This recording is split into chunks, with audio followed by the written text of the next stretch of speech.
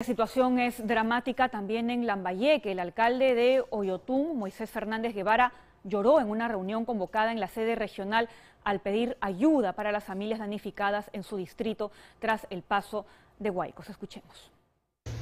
Si ustedes fueran a ver a mi distrito, yo les invito, vean tanto daño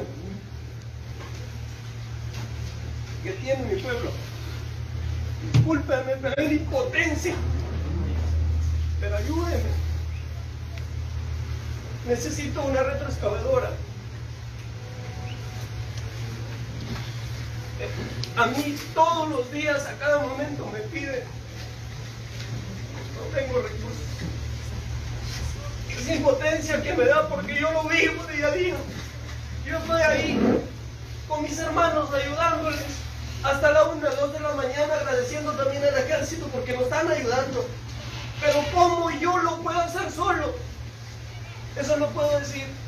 Ustedes dicen, no, nadie nos, nos pide. ¿Cómo no lo vamos a pedir si ustedes no, no llegan a nosotros?